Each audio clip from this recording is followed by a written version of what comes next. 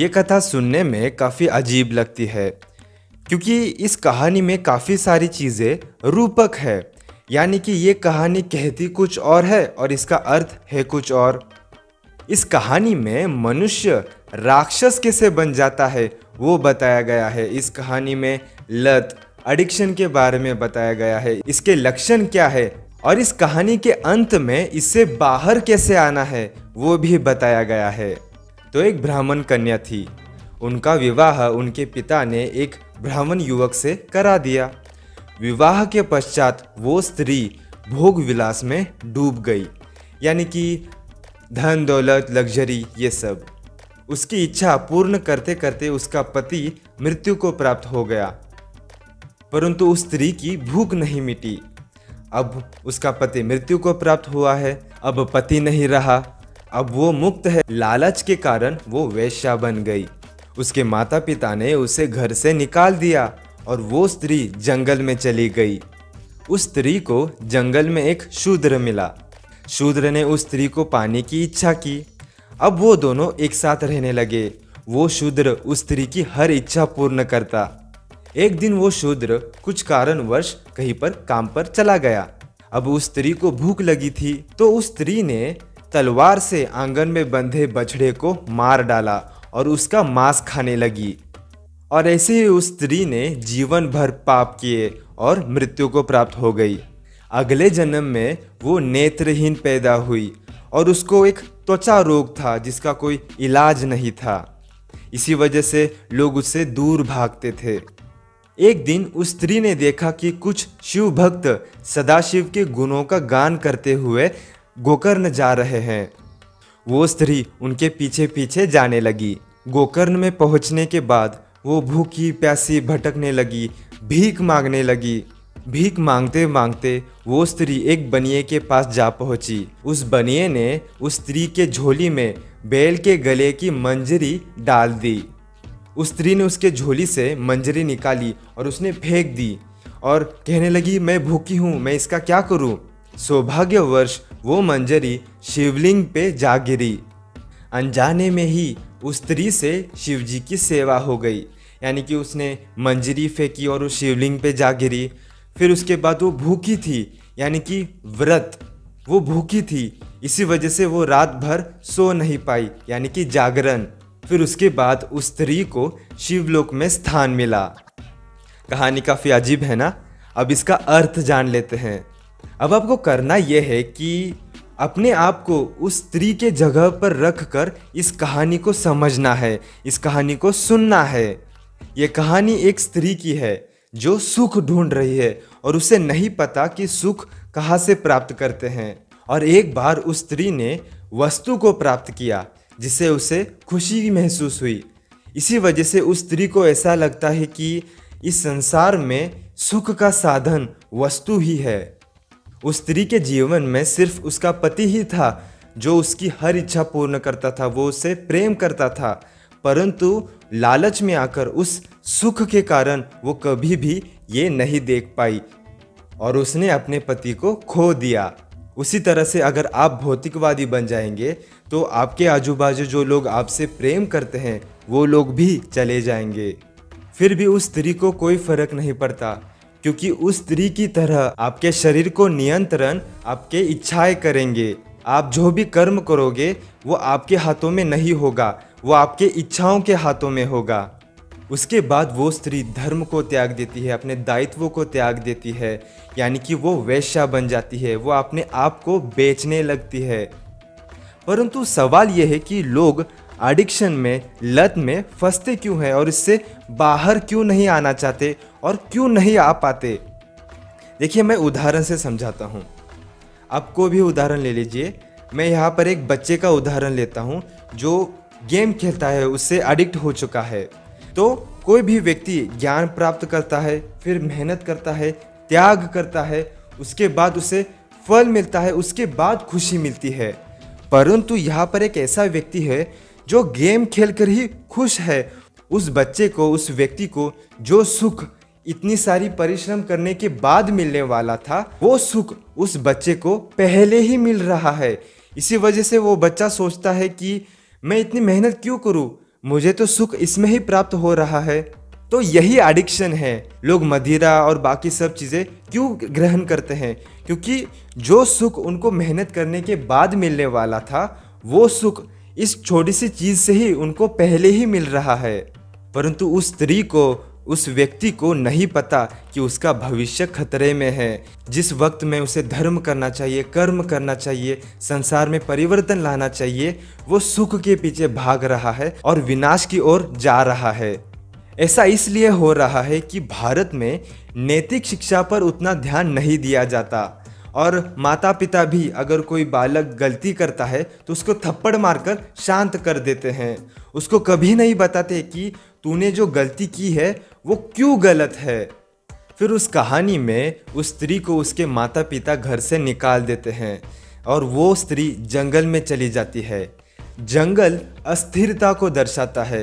जैसे जंगल में जो पशु पक्षी प्राणी होते हैं उनका जीवन अस्थिर होता है। कभी खाना मिलता है, कभी नहीं मिलता। इस जगह पर कभी ये जानवर राज्य करता है। कल कोई दूसरा प्राणी आता है और वो वहाँ पर राज्य करने लगता है। कभी इसके साथ संबंध बनते हैं, कभी उसके साथ संबंध बनते हैं। तो जंगल काफ़ी अस्थिर होता है। इसी तरह से हमें ये बताया जा रहा है कि जो लोग भौतिकवादी होते हैं, उनका जीवन भी जंगल की तरह होता है, अस्थिर होता है। अब आप बोलोगे कि इन लोगों को पता नहीं चलता कि वो गलत मार्ग पर चल रहे हैं। यही चीज़ इस कहानी में आगे बताई गई है कि वो ब्राह्मण कन्या जंगल में जाती है और वहाँ पर उसको एक ऐसा व्यक्ति मिलता है जो शूद्र जाति का है। वो एक ऐसा व्यक्ति है जो उस स्त्री की तरह ही है। वो पुरुष उस स्त्री के भांति ही है। इसी वजह से वो दोनों एक साथ रहने लगते हैं। इससे हमें ये बताया जा रहा है कि ज़्यादातर लोग इससे बाहर नहीं आ पाते क्योंकि उनको पता ही नहीं होता कि वो गलत काम कर रहे हैं। क्यों? क्योंकि वो व्यक्ति ऐसा सोचता है कि ये लोग भी वही कर रहे हैं जो मैं कर रहा हूँ। अगर ये चीज़ गलत होती तो ये लोग भी नहीं करते। इसका मतलब मैं जो कर रहा हूँ, वो सही है। यानी कि उस व्यक्ति को पता ही नहीं चलता कि वो गलत काम कर रहा है। फिर कहानी में आगे क्या बताया गया कि वो जो पुरुष था, वो कुछ कारणवश चला जाता है। अब उस स्त्री को भूख लगी थी। इसी वजह से वो स्त्री तलवार लेकर आँगन में बंधे बछड़े को मार देती है और उसका मांस खाने लगती है। अब इसका क्या अर्थ हुआ?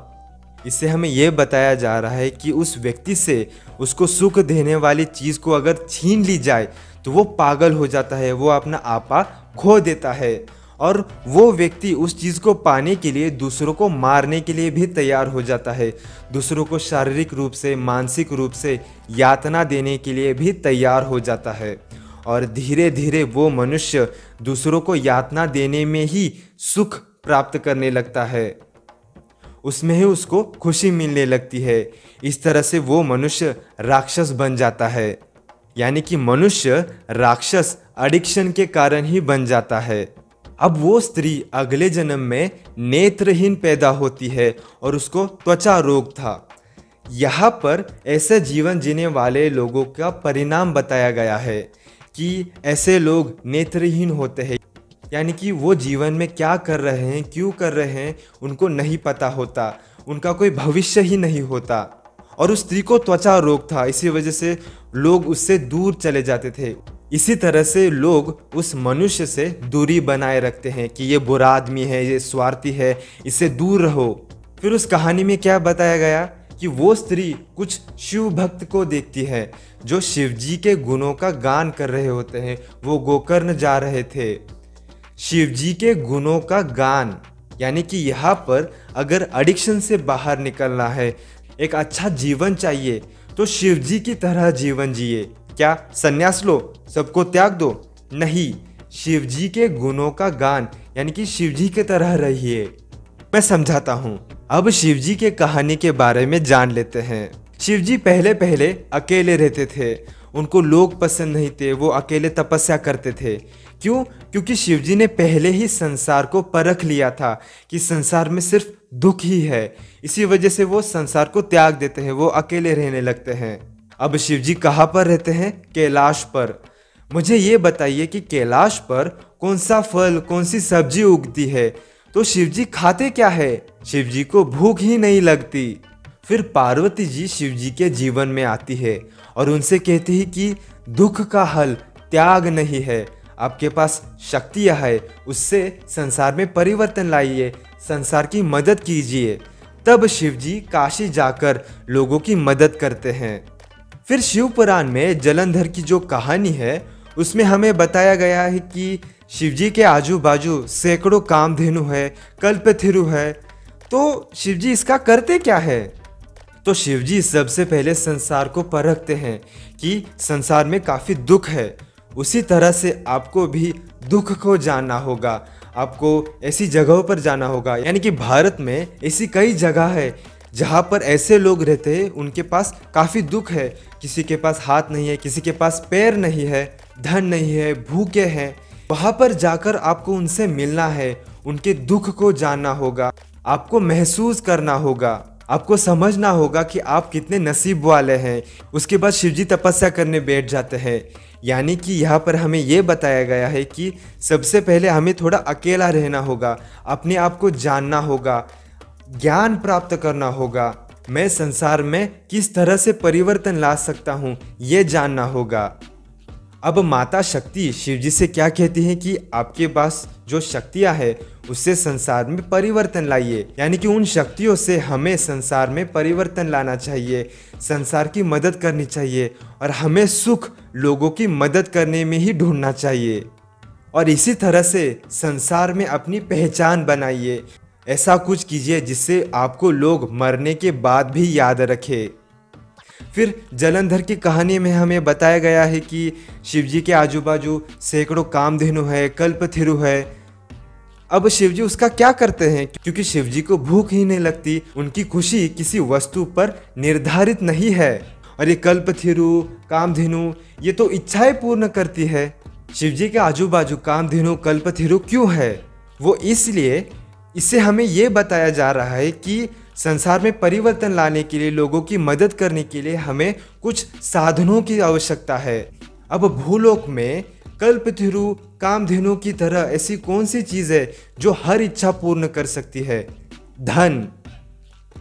यानी कि धन कमाना गलत नहीं है। इन सन्यासियों ने यह बात फैला दी कि लक्ष्मी गलत है, लक्ष्मी बुरी है।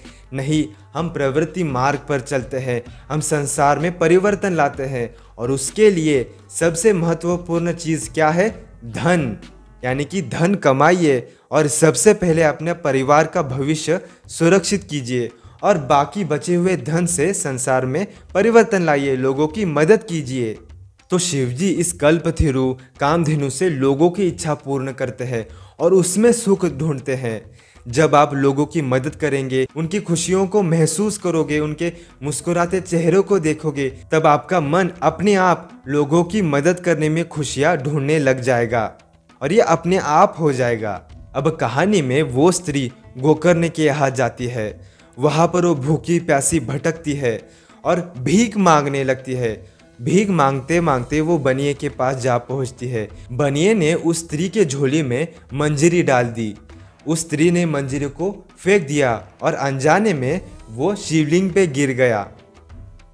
फिर उसके बाद वो भूखी थी, यानी कि अनजाने में उससे व्रत हो जाता है।